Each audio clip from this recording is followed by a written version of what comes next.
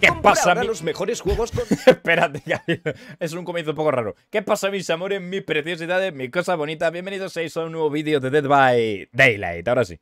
Ahora los mejores juegos con descuentazo en Instagaming con mi link. Y cuantas más ventas con mi enlace, más ganas de que te abrace. Y por supuesto, mamadísimo vas a estar con esto. Compra la mejor suplementación del mercado en Procis con mi link y utiliza mi código OtakuFS para llevarte un regalazo. Y si te aburres trabajando, te puedo entretener a la hora de comer en Twitch. ¡Suscríbete!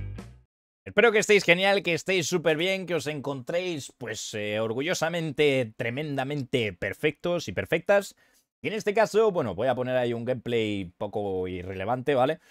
Para que veáis el tema del aniversario. Como podéis comprobar, bueno, pues ahí, por, ahí, aquí arriba, sí, ahí, sí. Bueno, en algún lado estaba el motor ese de los granizados. Sí que es cierto que se está viendo un poquito más a buba por el tema, obviamente, del aniversario, o sea, por el del aniversario de, la masacre de Texas, 18 de agosto. El día de hoy vamos a tener el primer streaming, digamos, de los desarrolladores en los que supongo que harán un preguntas y respuestas o nos contarán cosas nuevas sobre el videojuego. Me imagino que serán aquellos cambios que haya habido desde la PTB hasta la salida ahora el 18 de agosto. No lo sé. Va a haber una serie de cositas y obviamente Barbacoa pues eh, viene siendo la perk de Buba, por lo tanto hay unos poquitos más de Bubas. Sí que es cierto que hay muchos también que son bastante facecamperos, pero es lo que hay. Bienvenido a Dead by Daylight. ¿Qué he de hablar en cuanto al tema de este evento que acaban de poner? El cual lleva cinco años sin celebrarse en el juego porque, bueno, pues la empresa, no sé por qué, no lo puso, ¿vale? Eh, sinceramente, es un evento más de los que pasa desapercibido y que te, te importa más bien poco. Me explico. Te vas al árbol de sangre, te compras una especie como de ticket o algo así, lo pones de ofrenda, ¿vale?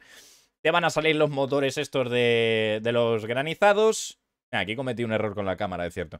Te van a salir los motores con los granizados y al killer le van a salir los ganchos con unas salchichas, ¿vale? De hecho, no sé si se van a ver ahora, pero vamos, que tiene unas salchichas ahí de gantimpalo el, el killer que flipas y poco más. Se enciende el gancho cuando te cuelga. Mira, a ver si este se enciende. Míralo. Está todo guapo esto. Esto lo podrían dejar, la verdad. Y mira, ves aquí. Ay, no lo veis. Ah. Ah. Aquí, las morcillas, ¿eh? Mira las morcillas por ahí. Bueno, pues eso es todo lo que hay, ¿vale? Eso es el evento. No tiene más. Otra cosa nefasta, otra cosa aburrida, otra cosa que, bueno, pues al final no sé si considerarlo evento o es simplemente... Es que no sé cómo se le llama esto. ¿Mini evento? Podría ser. O sea, un evento yo considero que es algo que se interactúa más con ello, ¿no? Que te hace salir de la rutina normal. Porque es que este mini evento lo único que hace es que repares motores y cuelgues enganchos. Bien, eso es lo que hacemos normalmente. O sea, no hay ningún cambio, ¿no? En la mecánica de juego. Por lo tanto, yo consideraría que es un mini evento. Sí que es cierto que, oye, vamos a poder conseguir la skin de Jake Park, vamos a poder conseguir la skin del payaso, vale, guay, sin ningún problema. Te sacas unos puntos extras, subes un poco más rápido la grieta, vale, cojonudo, sí, o sea, sin más, ¿no? O sea, lo de siempre, básicamente. Entonces, pues bueno, digamos que mm, no es un evento que vayas a decir, oh, voy a jugarlo mucho porque me lo estoy pasando súper bien y es muy interactivo y voy a sacar muchísimos puntos, como por ejemplo en el de aniversario. ¿Vale? No hay tartas eh, las cuales puedas combinar de esa manera. Los eh, boletos estos solamente te dan ese 100% cuando reparas motores de Survivor o cuando cuelgas de Killer. Por lo tanto, no es equiparable, ¿vale? El otro es un 100% sobre todo lo que tú consigas y aquí es únicamente un 100% sobre esos objetivos que tú hagas. Teniendo en cuenta de que, por ejemplo, si tú eres el que chasea en una partida, ¿vale? Eh, los 4 o 5 motores, no te vas a llevar una mierda porque la ofrenda únicamente te puntúa por reparar motores. Así es que, F. Y el killer, si no genera ningún cuelgue, pues eh, no va a recibir tampoco bonificaciones porque solamente funciona cuando haces cuelgues. Así que bueno, es un poco lo que tenemos en el juego. No me esperaba tampoco mucho más, la verdad, teniendo en cuenta de que venimos del, del evento del aniversario, que ese sí que me parece más evento.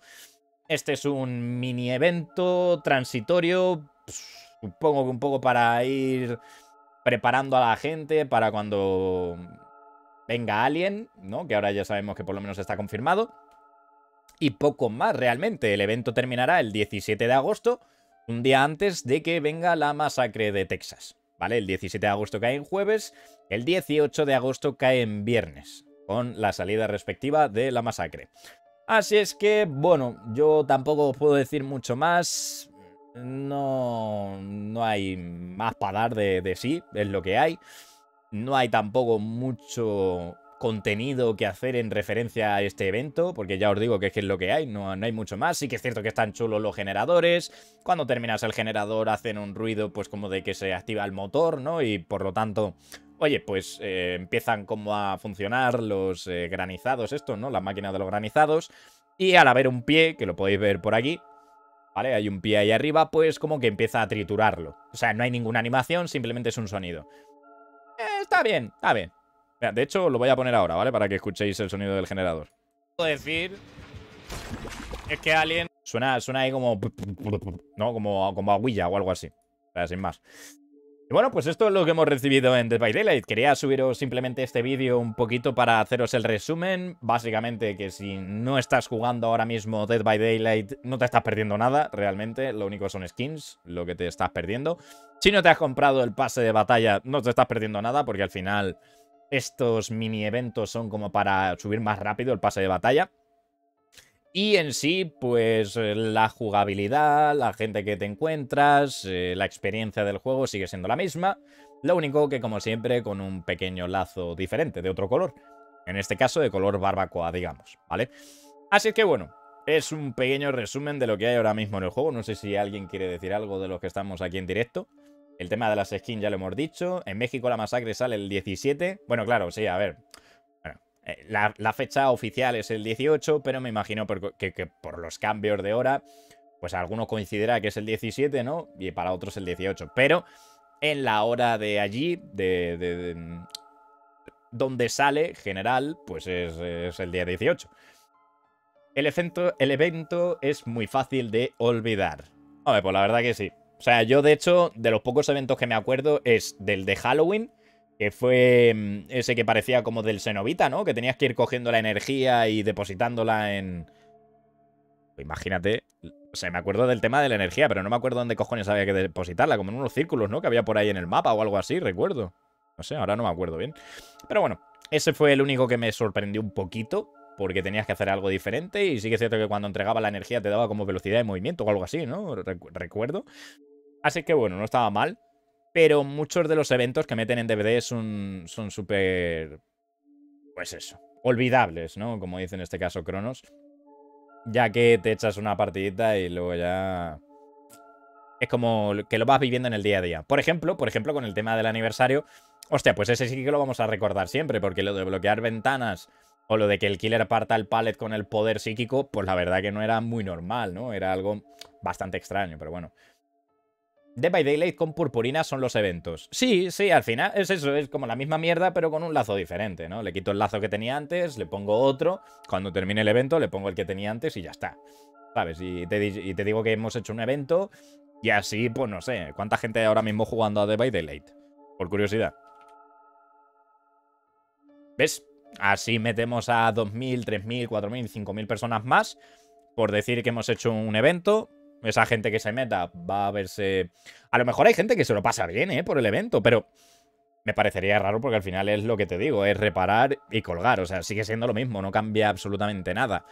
Puede ser, puede ser que haya, eh, dependiendo de la partida, o que experimentes un gen ruseo, ¿vale? Porque al final están incentivando a que los survivors reparen más rápido, ya que es de esa manera de la que ellos sacan más puntos de sangre.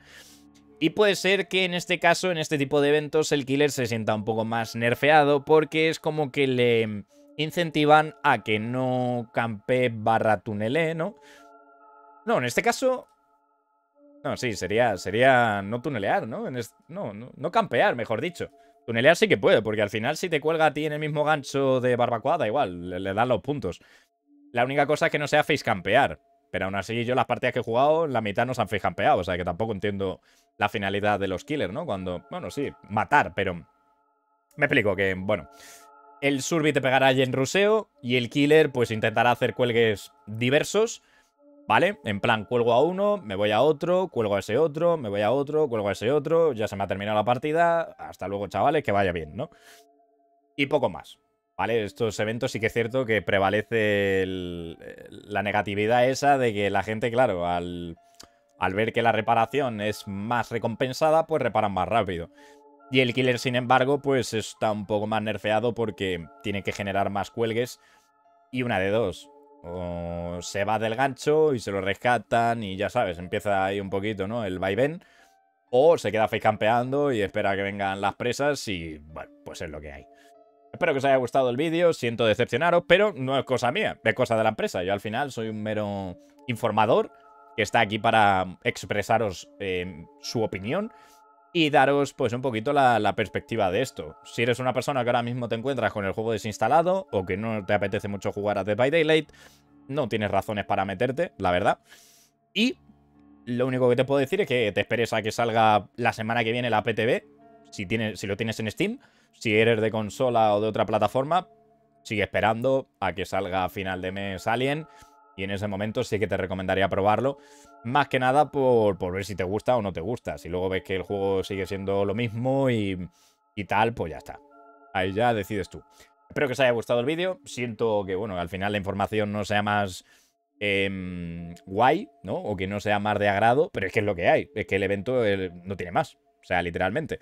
Es, para que lo veáis, te vas al árbol de sangre.